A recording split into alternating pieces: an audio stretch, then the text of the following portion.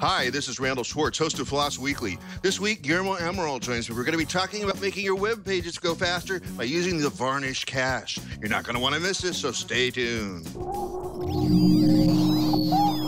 Netcasts you love. From people you trust. This is Twit. Bandwidth for Floss Weekly is provided by CacheFly at C-A-C-H-E F-L-Y dot com. This is Floss Weekly with Randall Schwartz and Guillermo Amaral. Episode 390, recorded May 31st, 2016. Varnish Cache. This episode of Floss Weekly is brought to you by DigitalOcean, simple and fast cloud hosting built for developers. Deploy an SSD cloud server in 55 seconds. Try it today for free. Visit digitalocean.com. And once you sign up, be sure to enter the promo code FLOSS in the billing section to get your $10 credit. It's time for Floss Weekly, the show about free, libre, open source software. I am your host, Randall Schwartz, Merlin at Stonehenge.com, bringing you each week the movers, the shakers, the big projects, the little projects, projects you may be wanting to play with right after the show. That happens a lot for me. Projects you may be using every day and not aware of it. And I bet that's also true about this particular show. And we'll explain that in a few minutes. Well, uh, uh, we'll first be joined by our lovely and talented co-host, uh, Guillermo Amaral. Guillermo, welcome re- right back to the show. hey, how's it going? It's been, been a long don't- time. Yeah, you don't write, you don't call, you don't. I don't know what's going on with you. It's like everything going crazy. Um, and uh, um, uh, so anyway, yeah, and uh, you're still in the same uh, secret bunker out in the uh, playa there. Yeah, yeah. It's it's underground yet. It's uh, you can probably see the sky from here. So Okay, yeah, yeah. Well, I am back in Santa Monica uh, at ZipRecruiter, and it, uh, it's today though the weather is beginning what they call June gloom, which means that we've had really great spring and it's all kind of nice and pretty, and occasionally it rains, occasionally there's puffy clouds. Often there's blue sky though during the spring, but starting right about now.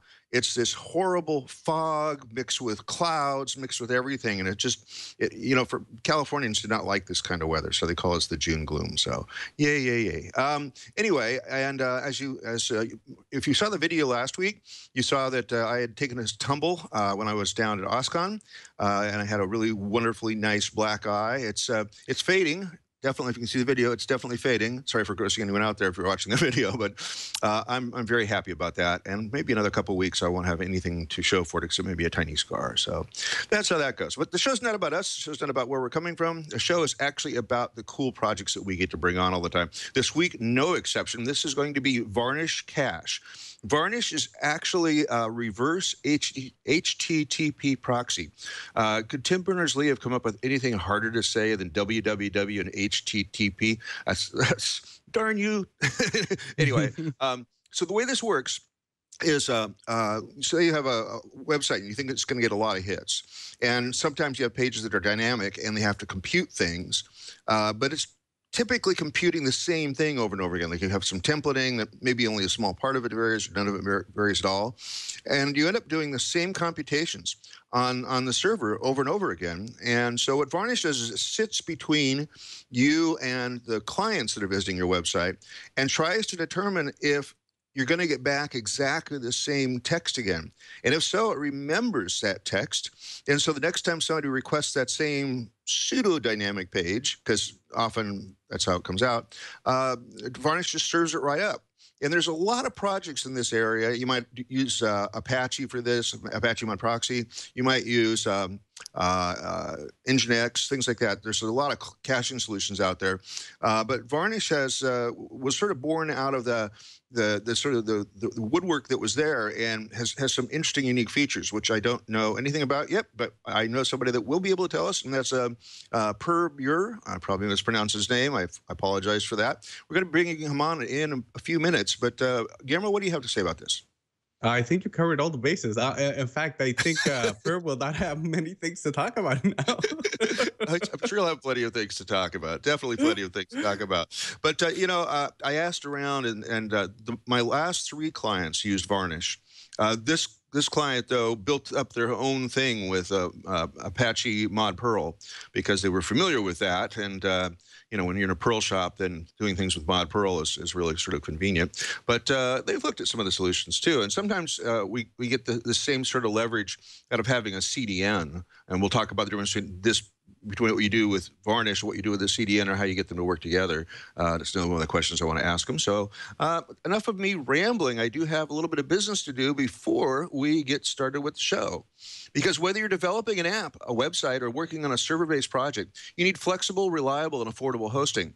DigitalOcean offers droplets, which are virtual private servers that can be customized and deployed easily to host websites, web apps, production applications, personal projects, virtual desktops, and almost anything else you can think of with full root access. This helps you get your project off the ground quickly and makes it easy to scale when you find success. DigitalOcean is used by over 600,000 developers, including me. I've been a very happy DigitalOcean customer for a little over a year and a half, and I've bumped into a lot of the DO guys at uh, OSCON a couple weeks ago. I really appreciate them coming up to me and saying, "Hey, thanks for uh, thanks for helping uh, talk about us on your show." Uh, you can deploy and configure your droplets via a streamlined control panel or simple API.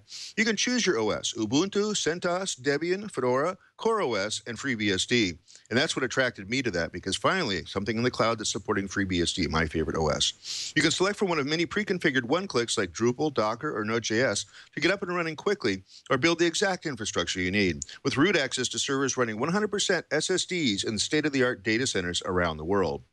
It's highly scalable to meet the demands of a rapidly growing application or business. You can also use advanced features like floating IPs for high availability, private networking, and automated deployments via API. There's an extremely active community with a large and detailed set of tutorials on all the ways you can use your droplet. Want to configure a LAMP server, set up a virtual desktop or VPN? They've got you covered. And it's so easy to get started. You can deploy an SSD cloud server in as little as 55 seconds. Hard to believe, but I've seen it happen multiple times. Uh, DigitalOcean has incredibly affordable and straightforward pricing. Servers start at only $5 a month. There's also hourly pricing available starting at less than a penny per hour. But we're going to make it so you can get started today and deploy an SSD cloud server for free. Visit digitalocean.com and create an account. Once you confirm your email and account information, go to the billing section and enter the promo code FLOSS for a free $10 credit.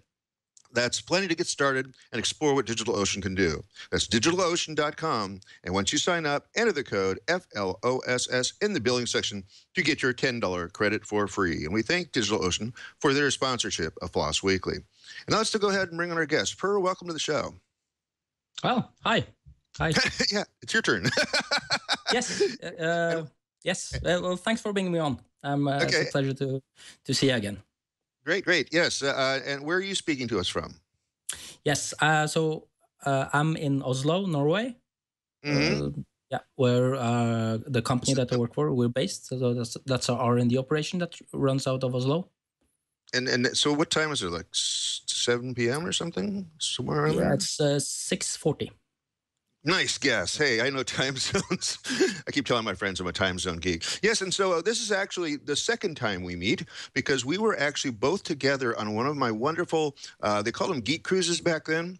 They're called Insight Cruises now. That's where the website is for going to see what they are. Uh, it was Linux, uh, the Linux Lunacy in 2001, where we got yes. a bunch of people on a ship together, and uh, we talked a lot about various open source things, Linux things, and all sorts of wonderful stuff. So, um, did you ever figure out the name of the drink that we were drinking together? Was was it probably yeah, a yeah. Wang Wang? Yeah, it was yeah. Wang Wang. Yeah, yeah. The Wang Wang was the, became the battle cry for the first three or four cruises, so that was really cool. Well, again, I digress. I digress. We could talk about that all day too. So, um, but let's go ahead and uh, give us the thirty thousand foot view. What problem is Varnish trying to solve? I think you described it uh, really well. Uh, I mean, you have all these application servers and there are perl and python and, and java ones and and they are all i mean they're, they're extremely generic pieces of software and they do sort of all kinds of stuff and uh, they will typically sort of end up with the sort of uh, latencies in a maybe 70 to 300 milliseconds mm-hmm. so and that's quite a lot actually when you when you sort of consider that a server might have 12 cores uh, and sort of so, so, you can't really do that many requests per second in parallel if you sort of just if you just assume that you you're spending that uh, that server time being 100% busy.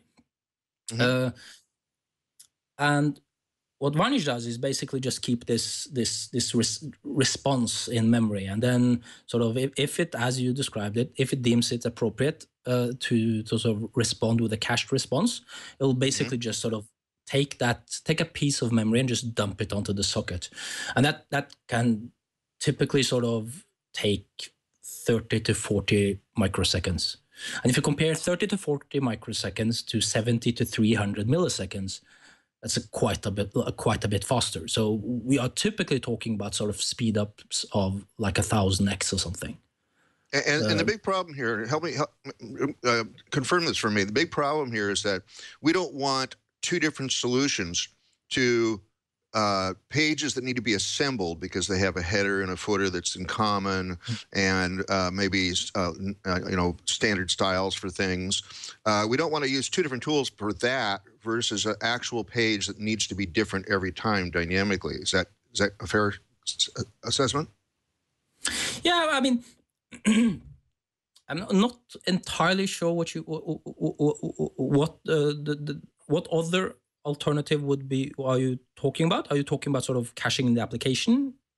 Uh, no, I'm talking more about uh, using a tool that, uh, well, I'm, I'm most familiar with like Template Toolkit yeah, because that's Yeah. the Perl way of doing this. So you can use Template Toolkit sort of to assemble pages from templates that never change. And so you could actually do it. and There's actually Oh. tools to do this. Pre-assemble a bunch of pages. In that case, it would get delivered at the same speed as caching it somewhere. Well, maybe not quite the same, but close. And versus using Template Toolkit to look at the incoming CGI parameters, uh, uh, you know, and that sort of thing, and, and actually generate a different page every time. Absolutely. So now, now and, and understand what you what you're uh, referring to. So of course, yes, an alternative would be sort of to to sort of pre-generate these uh, static pages, uh, and then uh, and then sort of deliver them from disk using Apache or Nginx or something like that. That could be an alternative. Uh, sort of performance-wise, they're more or less the same. Varnish has this theoretical sort of uh, opportunity to be a bit faster because it doesn't have to go through the file system and sort of I bet that it, it only sort of needs to just sort of dump stuff from memory. But then again, mm, that that's really not significant anyway. Uh, but uh, but I mean, the, the nice thing about this is uh, Varnish will keep all this in memory, and you, you can sort of so, so there's stuff that you can do since we have this in memory. You can, for instance, uh, maybe you have like different variants to depending on language preferences and, and such. And Varnish will sort of keep those things organized and sort of serve up the right version. Uh, whereas doing that would would uh, would uh, like pre-rendered pages on disk is, is slightly harder, uh, and and and there are other examples as well. Varnish can do some authentication and authorization, and sort of then deliver from memory. So, so there's sort of Varnish has quite a bit of of, of uh, I would say they're, they're more flexible. There's a lot more flexibility uh, when, do it with Varnish than, than compared to to to dumping these pre-rendered pages onto disk. Yeah, I, I want to get more into that in a second, but I just also want to make sure that our audience is with us about where this fits in the chain. I think Yeah. you know reverse proxy cache might mean something to about a third of our audience, but uh, I want to include the other two thirds. So what you would do is you would have uh, your company name, example.com, uh, rather than that address go directly to your web server, you would then point this at your Varnish instance. Now, Varnish has to know how to really to get to the web server, so there's an internal configuration for that. Is that is that fair? Yes, that's fair. That's completely Okay. spot on. So we, Okay. we sometimes call it uh, like an edge server, like it sits Okay. at the edge of your network. Okay. Uh, and and but but uh, there's lots of different ways to. Uh, I think like W3C refers to it uh, as surrogate web cache is also another name for it, uh, or surrogate web server. So that that the client will talk to the surrogate and the surrogate talk to the actual web server, which is sometimes also referred to as the origin. Uh, so there's yeah, So nomenclature is confusing. Okay, so at a minimum, to get Varnish up and running, I have to install it somewhere. And I, is it just typing in the origin address, or are there other things I need to figure out to even just get that's basically helping me a little bit?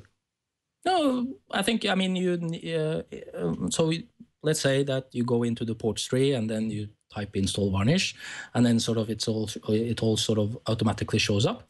Uh, you have a configuration file. You edit that configuration file. You, you you tell what the sort of the host name and the port where varnish can get the content, and then you can start it up, and it sort of will start working. So that's the Okay. absolute minimum minimum configuration, and not really that useful in real life, but it it, it might do uh, help you with a thing or two. And so, what can you add to that? What what what, what you, know, you started to list some of the features, but talk to me about some of the ones that people use the most. Uh, how how are they extending this? yeah so i mean there's so like 20 years ago uh, the web was really really simple uh, you just sort of would request stuff and sort of um, yeah um, and http wasn't really that different from ftp or sort of the other sort of file transfer protocols. Uh, since then we had things such as cookies. So cookies of course is one is, ve- is very very wary of cookies. It uh, it can sort of uh, if a client sort of requests something and the client has a cookie, Varnish has no way to actually know if that cookie is just something that's there by accident or if the outcome of the uh, request that it previously has cached as a response Mhm. was dependent on that cookie Ah, yeah. so so so Varnish doesn't know this. So the default policy of Varnish, and sort of it's written defensively, is is sort of if the client has a cookie, we just sort of don't cache anything. We don't deliver anything uh, from cache at all. So of course, Hmm. Th- th- there's probably isn't a, a sort of a web domain mm, uh, that doesn't have any sort of cookies associated to, to it. So even though it's a the the, the the the web server doesn't actually need the cookies at all because I mean you have these uh, Google Analytics cookies. Those sort of show up everywhere. They're not really needed for anything that sort of the uh, the the the backend web server does. They're, they're, just there because it's a convenient way to store some state on the client side, and they show up in in a lot of the HTTP transactions. So so you need some configuration then to sort of suppress these cookies and just basically tell Varnish that it can so safely throw them away, and then it will disregard the cookies and then will reserve cache. So that's the that's the most I think common thing configuration item that people do. Okay, great. Um, and ah, lost my train of thought. Now I do that occasionally here. Um, so, what? Uh, Guillermo, you want to jump in here? yeah, sure. Uh, well, uh, you know, I was actually interested in uh, in uh, maybe uh, letting other people know what the uh, you mentioned. Uh, you can have this in the uh, memory, right? Uh, you know, have all your cache files in memory. Uh, is there an alternative to this? Uh, can you use maybe? It would probably defeat the purpose. Maybe using a CDN to store maybe uh, files that aren't really used that much, or perhaps uh, just using a standard old hard drive to store the uh, files that don't get called back so much, or uh, uh, how, does the actual file system uh, work for this? Yeah, so I mean, Varnish was initially Varnish was written with sort of caching to actually it was actually using disk to cache was was one of sort of its really cool features back in the day. Um, we're just sort of using just what what's technically referred to as memory backed uh, storage or memory mapped storage, uh, which is sort of virtual memory that's sort of backed by a file, uh, and then the, the kernel operating system kernel will just sort of make yeah make stuff go onto disk and, and and into memory whenever it needed to. Uh, if that actually didn't work that well so we sort of stepped away from that and just started just using regular memory. Um, and turns out sort of today memory is really really cheap and people don't usually have that much content i mean uh, if you look at like if you take like a, some a site like the new york times and you take like the all the content that they published for the last month, including all the pictures, that's probably not that many gigabytes of content. I mean, they're, they're, I don't know how many people they are, but I mean, it, it's actually not that many gigabytes. And like you can get servers today with 128 or yeah, more and they're not really that expensive. So actually sort of wasting a bit of memory or using I wouldn't say waste using memory to sort of cache uh, to to keep uh, stuff in in uh, to make sure that it's it's get delivered quickly is actually not that uh, it's not that luxurious anymore. Uh, so I would sort of gladly spend that. I mean, the only uh, the only thing that sort of you can't really cache in memory is is is video. Um, if you're doing video, uh, you definitely want to sort of leverage uh, disk. And uh, uh, we have a question from the uh, chat room here. Uh, the Andromedan, Andromedan, I hope I hope I said that one right. Uh, how do you configure Varnish uh, to recognize statically generated content uh, uh, for from uh, per user generated content? I, I'm guessing he means. Ah. Uh, let's say if I, you know, if we have more uh, generated content, but maybe with a name in it, you know, uh, I'm not sure. Yeah, Is I- there I a way? Yeah. Yeah, okay. Yeah, abs- absolutely. So let me just sort of wind a bit back, and uh, there's a couple of sort of things you need to know uh, for this all to make sense. If you if you're not familiar with Varnish, uh, so the first thing is Varnish has not does not have a traditional configuration file. It doesn't have this uh, Apache or Nginx style configuration, which basically just sort of a key value document where you sort of set these properties. Varnish doesn't have that. Varnish has this policy file uh, where you write policies on how transactions are being treated. Uh, so if you ever done sort of uh, SQL databases and you've done dealt with triggers, that's probably the sort of closest thing that that sort of resembles these policies the the, the most. Uh, so uh, in these policies, you do stuff like uh, you can set up things like if the client IP address uh, matches this pattern and there is a cookie which is called user and it contains Merlin, then do this. And you can sort of do so. So it's basically a programming language uh, that sort of let you define these policies. And what Varnish does in, is that when you start it up and you sort of load a, uh, a, a configuration file, it will, uh, I think, uh, transpile. I think that's the word. Transpile that configuration file onto into C code, and then run that C code through GCC or Clang, and to make it into binary code, and then that binary code gets loaded and then it gets executed. So basically, just sort of programming Varnish uh, to behave the way you want. So it's slightly different because you don't have these uh, properties that you turn on and off, but you end up with something that's very sort of very very I would say flexible. Uh, so you can do things like uh, if the client uh, has accepts GZIP and uh, is originating within California and blah blah blah, then do this. If not, then do that. Um, so that's that, so so instead of having a um, yeah, so that's the way Varnish is configured, and it's a thing that's rather unique to Varnish. Um, so back when when we sort of did the first release, which is uh, 10 years ago uh, we were sort of hoping actually that sort of uh, that uh, that uh, other people would think this is cool and sort of maybe sort of pick up the pattern and sort of de- deploy it in their own open source projects.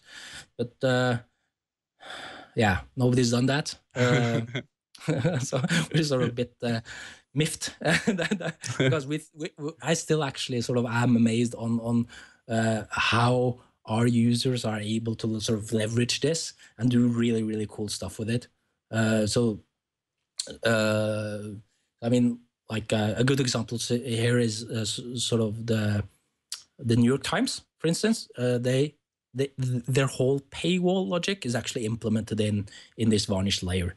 So it's written actually in this configuration language. So actually, Varnish sort of their Varnish servers, which is are in front of the web servers, when you request a page from from their uh, web, the, Varnish will actually evaluate that request, look up your subscriber information, check out uh, if you have uh, a valid subscription, and if that subscription entitles you to that content, and if everything is is okay, it will sort of release that content from cache. if it's not okay, it'll probably meter you meter the the request or or give you this.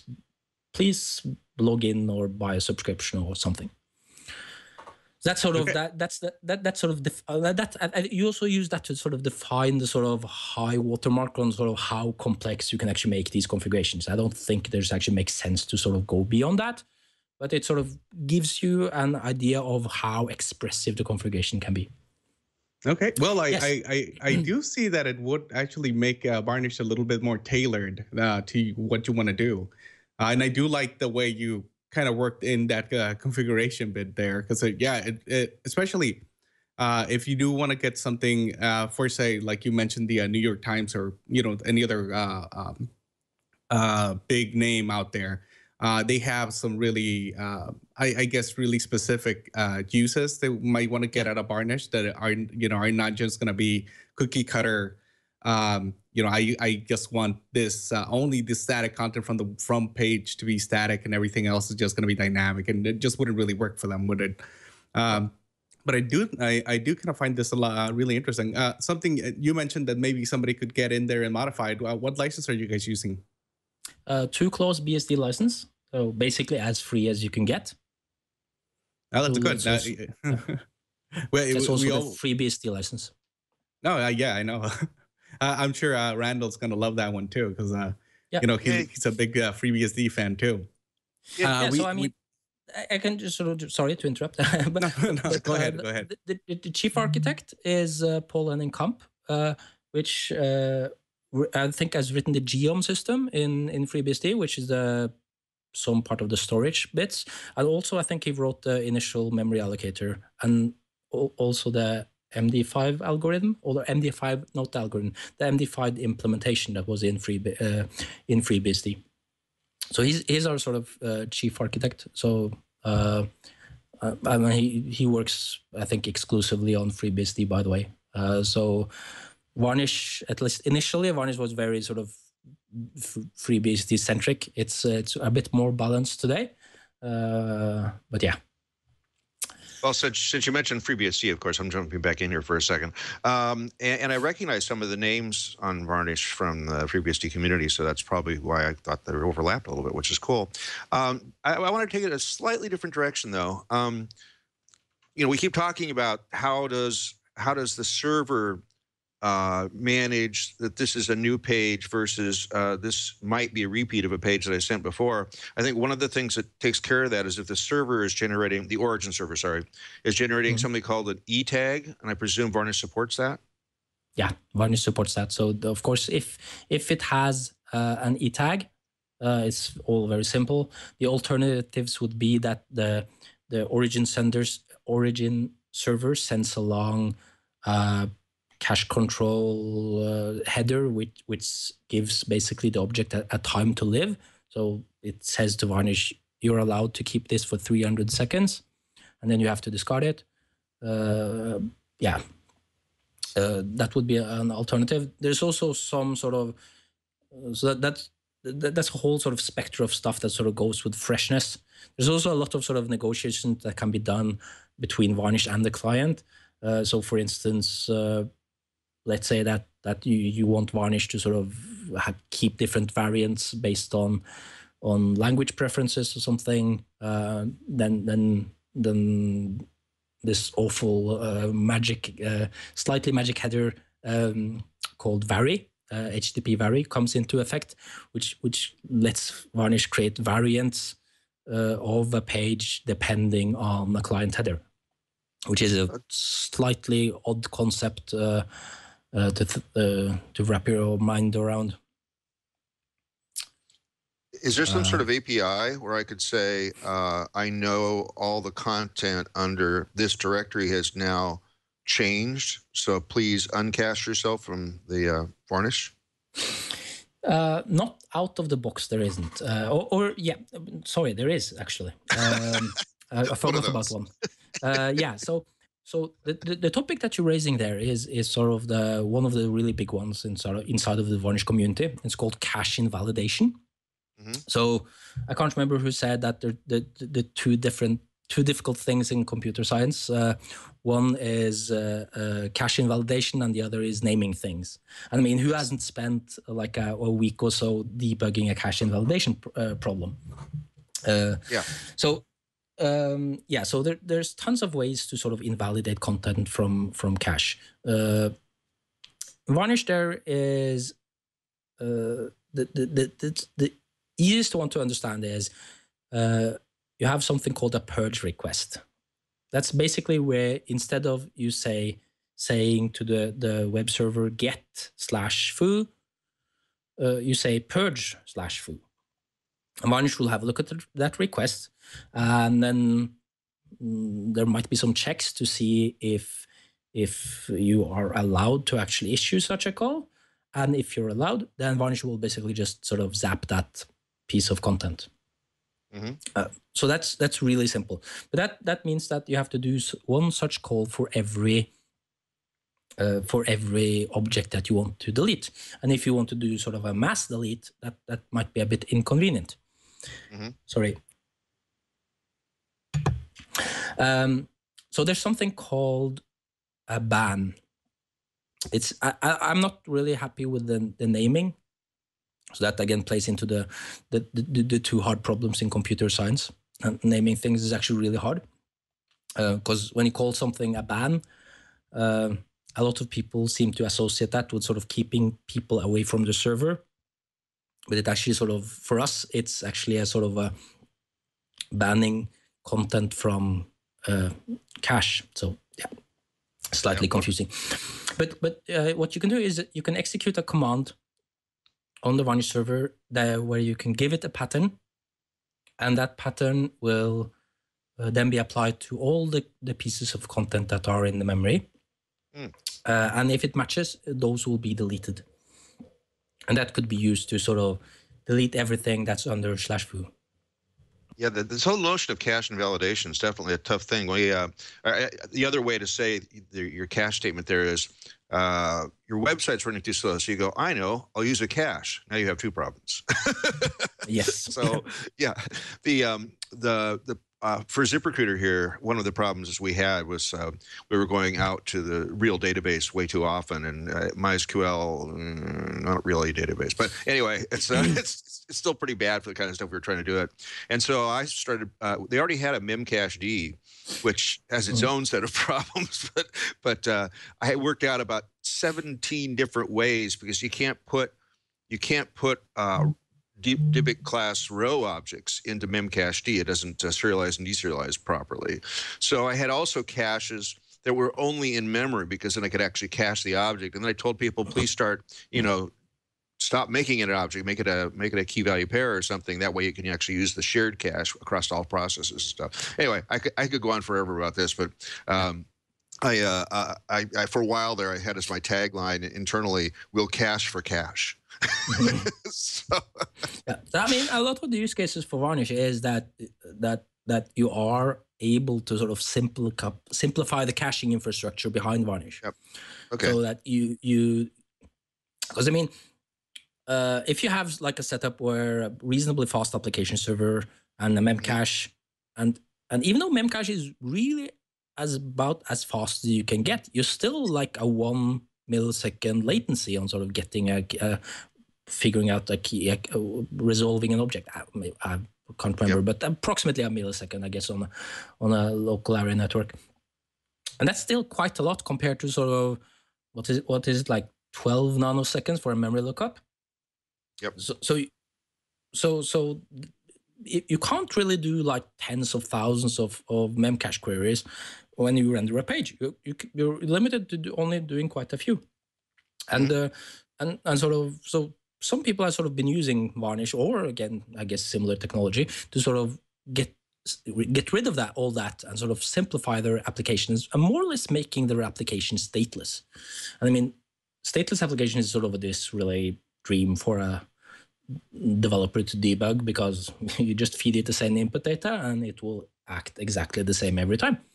Um, and sort of with Varnish, you, you you can sort of you're more likely to be able to to have such an application survive production because if you if if you don't have any caching at all, then then then yeah, it, it probably will not be able to to deliver many page, many uh, responses per per second. So there are some overlapping features between Varnish and uh, typical CDN setup. When would you reach for a CDN? When would you reach for Varnish? And would there ever be use cases for both? Yeah, I mean, Varnish powers a few CDNs. So uh, I think this will still, in some part, go out over CacheFly, and I think CacheFly has been using Varnish for for for a bit. Oh, cool. um, yeah. Um, but but sort of the CDN, so that so that that's a content distribution network. So Mhm. the if the distribution part is is what you're after in a CDN, so so if you are sort of uh, uh, pushing content out of California and you have a global audience and you don't really want to fly to the world and set up a bunch of servers, uh, Yeah. you, you just you, you just sort of leverage a CDN to do that, uh, and and and they will sort of disseminate the content uh, all across the globe, and and they will do that for you, and that's that's really sort of very very efficient. Uh, so I think if the distribution part is important, then then sort of CDN is the way to go. Uh, but but CDNs don't necessarily perform as well as your servers might do, basically because they're they are multi-tenant, they're shared infrastructure. So the server that caches your stuff is also caching stuff for ten thousand other companies, uh, and probably in, you, your stuff will not be pinned in memory, whereas with your own Varnish server, you can pin stuff in memory. Uh, I see quite a few examples of sort of people going away from using CDN and actually getting an increased performance, uh, basically just because they've been able to use Varnish and then sort of pin stuff in memory, and that meant a reduction in in in in page load times uh, in a limited uh, geographical um, area. So let's say that you're in France or something. I mean, France is not really that big.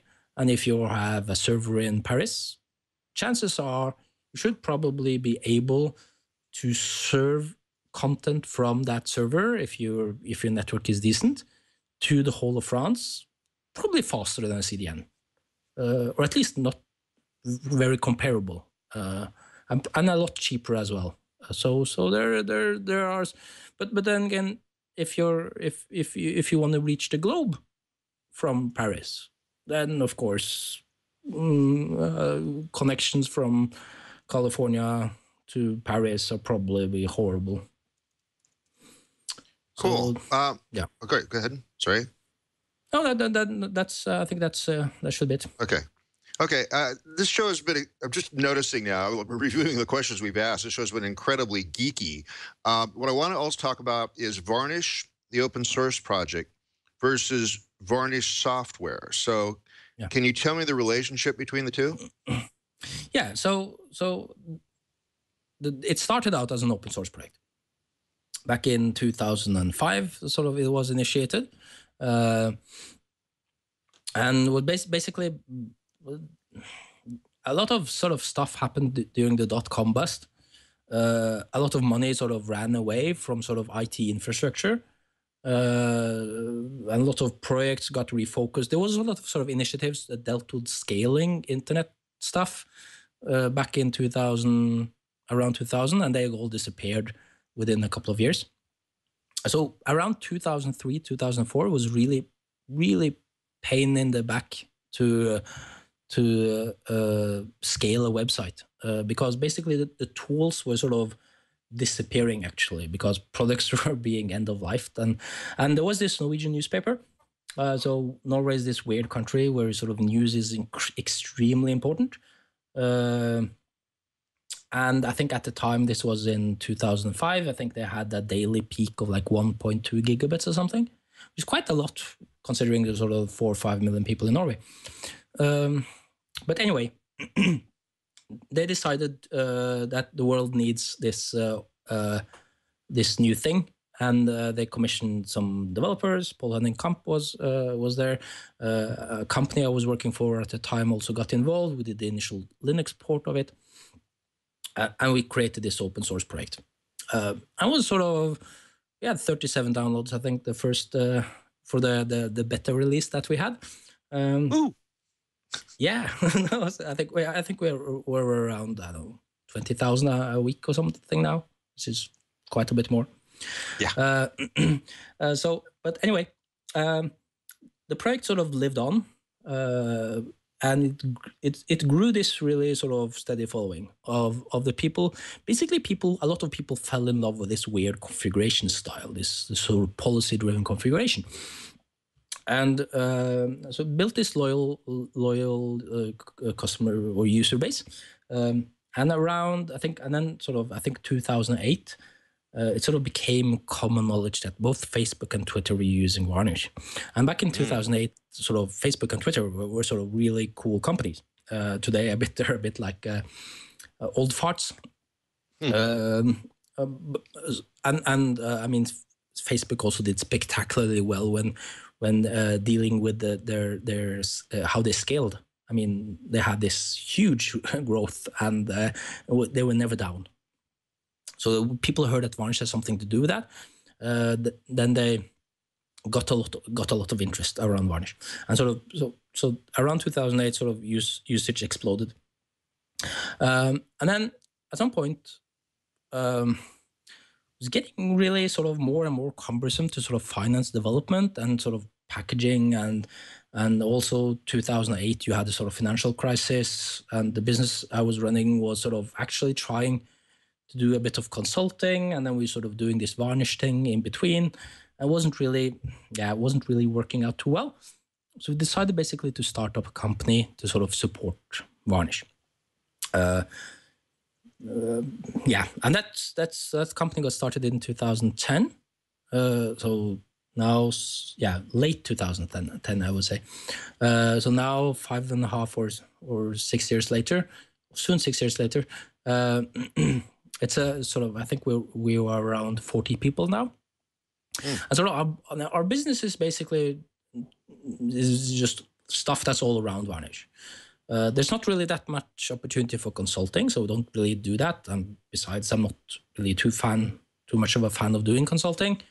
Uh, it's like if you have a gig like you, you you you sort of have this sort of steady client and you can stay there for four months. That, that that's great. That works.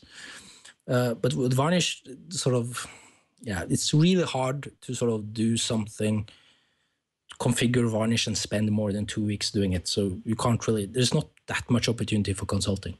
So um, so we, we have basically gone i would say slightly unpopular open core route uh, where we have a sort of uh, special uh, version of varnish where we sort of put some features that that, that we did not release as open source. Uh, so we have some so for instance i mentioned video caching uh, caching of videos earlier uh, the proprietary version we have is sort of better at that because it's it handles larger data volumes a lot a lot better. So we decided to sort of pick out our sort of niche of the market and sort of char- char- try to charge for that. So hopefully that that uh, yeah, and it seems to work out okay. Have there been any open source implementations of the stuff that you've got under lock and key?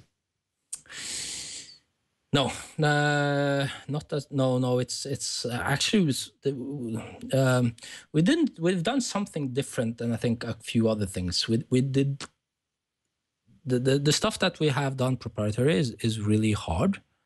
Uh, so it's really you have to spend a couple of years doing it.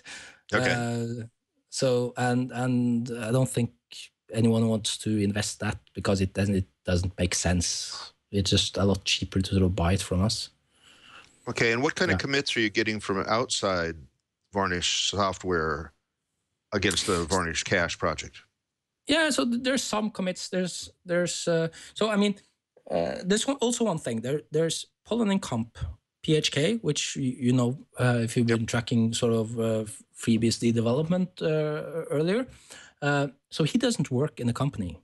So that that's the basically the the the so mm, the sort of we have this basically we have a bit like an editorial setup where where we the business side and, and he's the editorial side and there's a sort of a firewall between us Mhm. so so he doesn't do, has he hasn't do anything to do with sort of commercial the proprietary bits uh, whereas we will actually uh, uh, yeah well i think we spend most of our time actually on open source bits.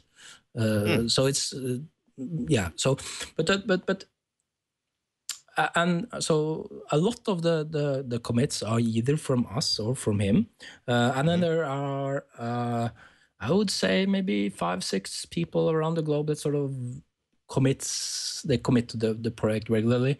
It's not really the easiest thing in the world to sort of just sort of casually pick up. Uh, um, it's written in c and even though c is quite common uh, this is massively multi-threaded. Uh, tons of sort of lockless data structures and stuff. So it's you have to know what you're doing in order to to to be able to to produce something that's makes sense. Uh, so we- i would say that you probably need that unless it's a trivial bug in order to actually contribute a feature you probably need to spend three months warming up before Yeah, doing that. I, I mean, that's, that stuff is really difficult. It actually says that it's threaded, no event loop. Threads work. Don't believe the hype. Uh, can you explain that? Yeah. So that was back in uh, 2000 and, uh, 2010. Uh, there was this uh, paper called the C10, C10K problem uh, how to deal with 10,000 simultaneous clients. Um, and I think a lot of the discussion, at least I, I can't remember if if if it was in the, the actual article or in the discussion around it, or probably Hacker News or something. Uh, but but it was basically common belief that the only architecture that could scale would be an event loop. So event-driven programming is basically where instead of having threads, you you you just sort of set up, yeah, you handle incoming stuff as events, and you sort of fire off callbacks. And this means that you can have one thread, one process, handle something like ten thousand connections, and that that sort of it it performs extremely well, but it's it's mm-hmm. it's a quite a, a quite complex to to to to maintain, and, and there are some some process some something uh, some problems associated with it as well. Uh, Varnish didn't do that, so we basically just said uh, we're going to use one thread per client. We got a lot of flack for that initially, and people said this is not going to work, not going to scale, but it actually has scaled really well. Uh, a lot of the reason I think for it scaling is there was both in Linux and FreeBSD quite a lot of work spent on on on the threading. Uh, I think in Linux it was the new POSIX threading library, which was a major feature of the 2.6 kernel, uh, and that, that had uh, like a really lightweight uh, th- uh, thread subsystem, Ah. so you can s- spawn like 80,000 threads in like uh, I don't know 100 milliseconds or something. So Wow. yeah, yeah. So that's uh, that's why we threaded.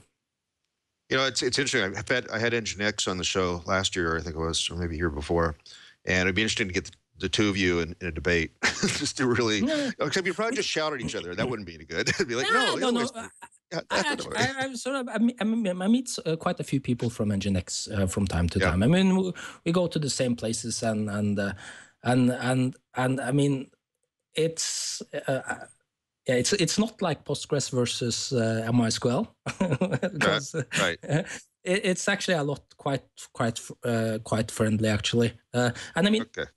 uh, Nginx is a it's a I love I'm I'm I'm, I'm a to some extent as long as you don't use it for caching I'm a big fan of Nginx. I mean they've done a lot of stuff right. Uh, uh, and it, it we've it's our preferred web server, uh, so we use Yeah. it quite a bit. Well, it has, it has a lot of great plugins to do all sorts of things. I mean, you could effectively do uh, Apache Mod Perl using Nginx, which is pretty pretty cool. So, um, anyway, um, I, I also wanted to c- cover a couple more quick things. We're running out of time, unfortunately. There's so much to talk about with this, so I could go on for another hour, but I don't have another hour according to Twit. So, um, but I did want to cover um, what's on the roadmap, what, what what's coming up, what, and and do you need assistance with some of this stuff.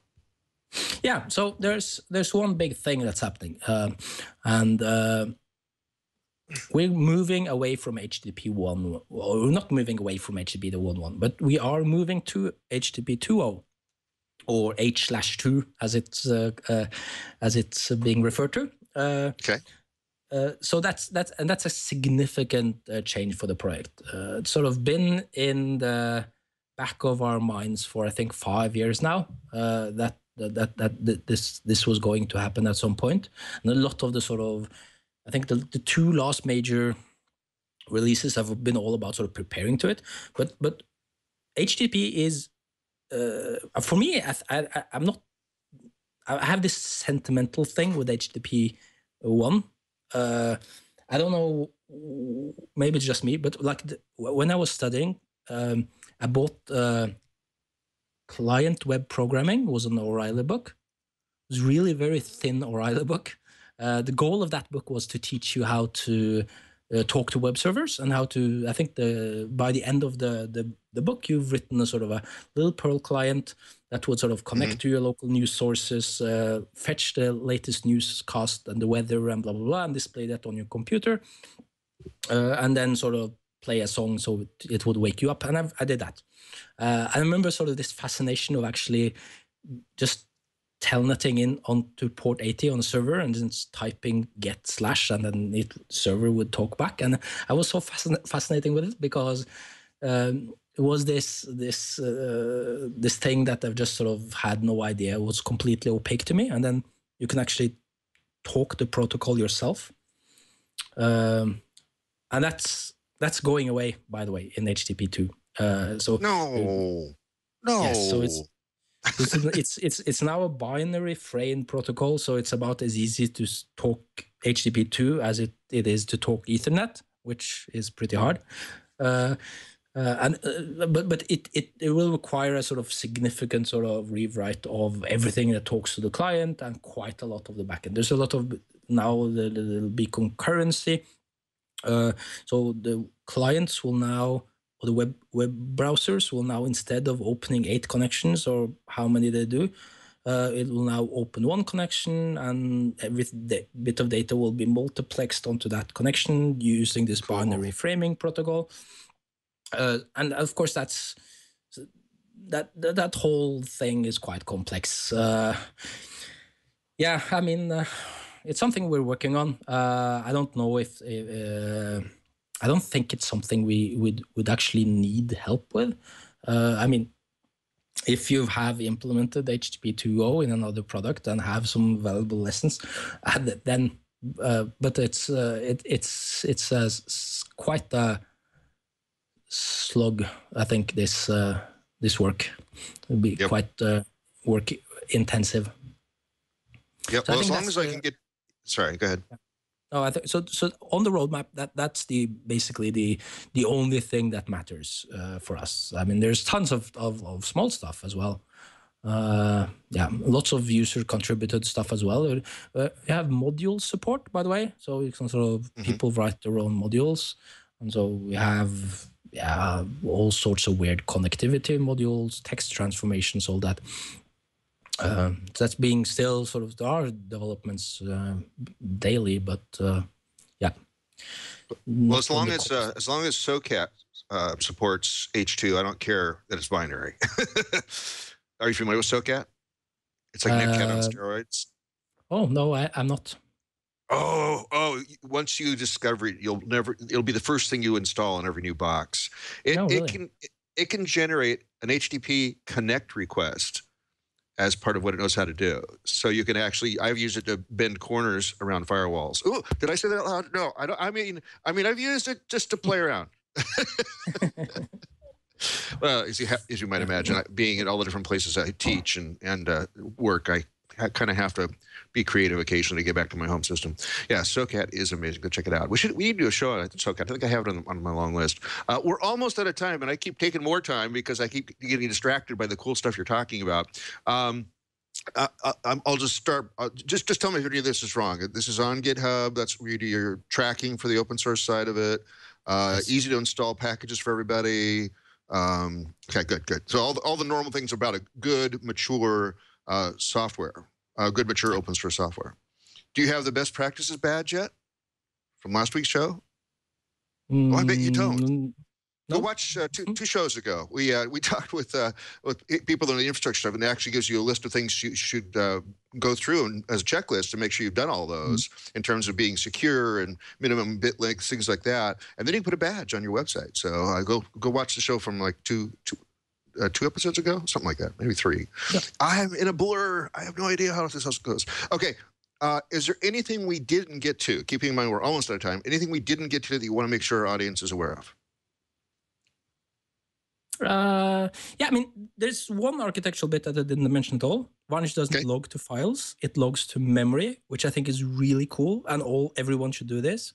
If they do, I think NSA would have more issues tracking data, but we don't log to a log file. We just log to a piece of memory in a circular manner, and when you need the logs, you attach a client to that memory buffer, and then you stream the the the, the you get the stream of the logs.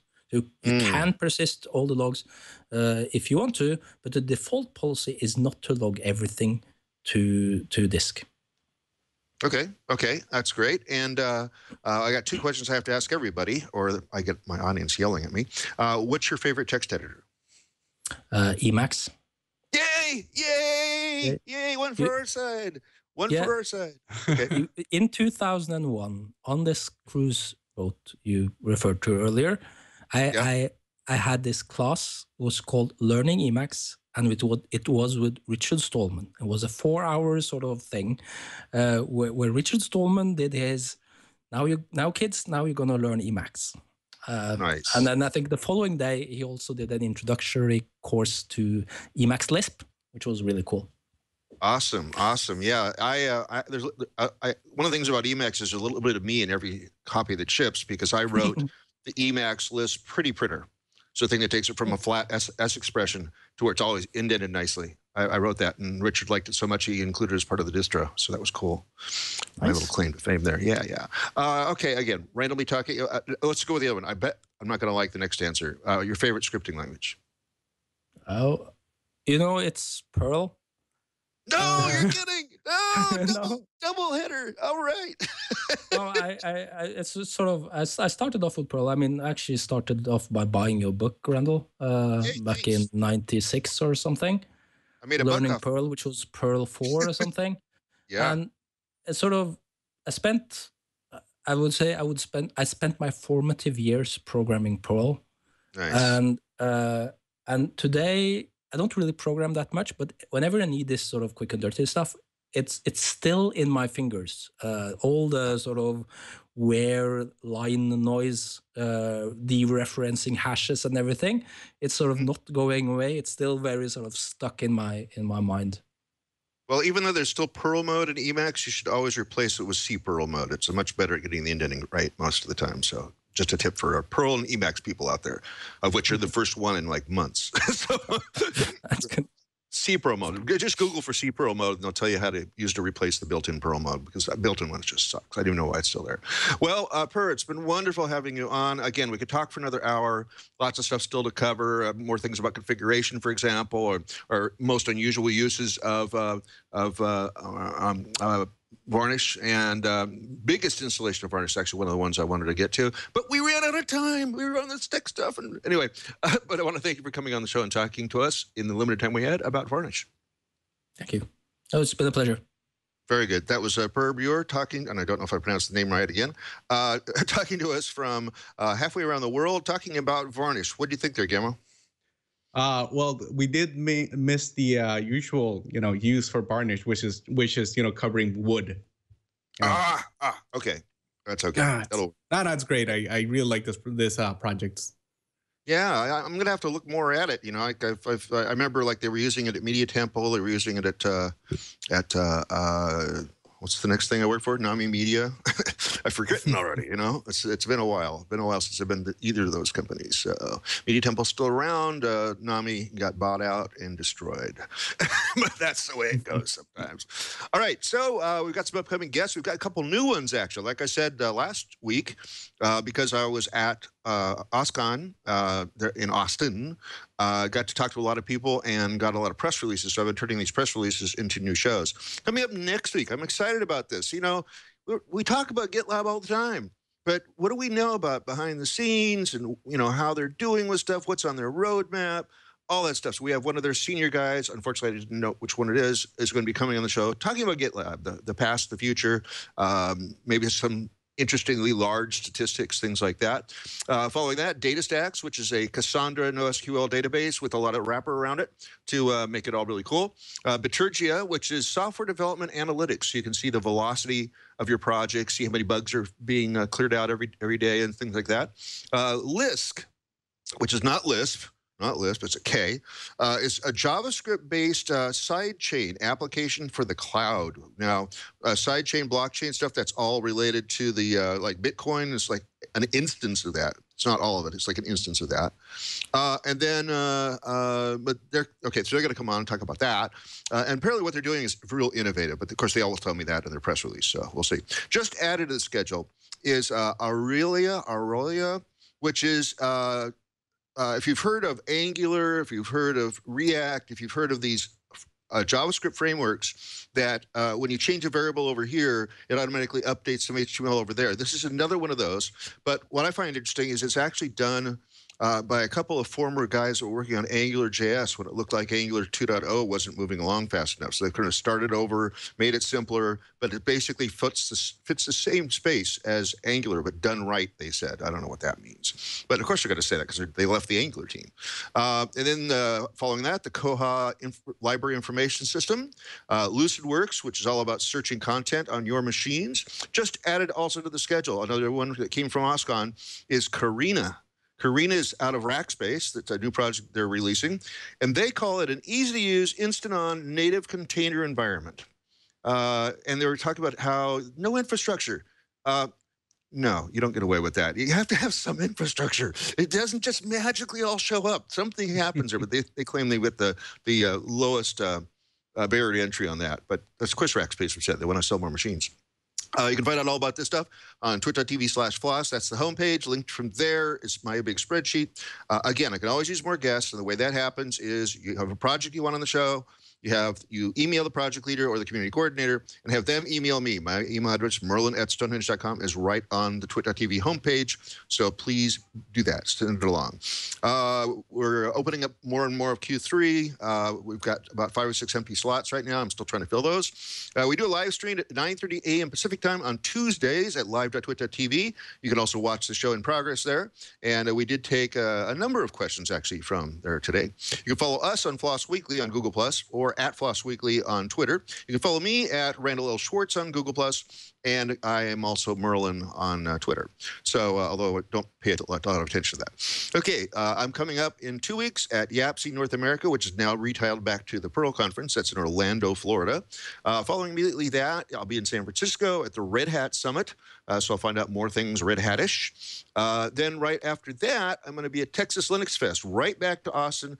I am not going to go anywhere up Sixth Street. I am not going to get another black eye in Austin. I can already tell. Or at least if I do, I'm going to be very careful with my cane. Uh, and then coming up in September, I'll be at Dragon Con in Atlanta, Hotlanta, Georgia, uh, talking four or five talks on the EFF track and probably a couple talks on the podcasting track. That's everything I want to plug. Uh, Guillermo, anything you want to plug?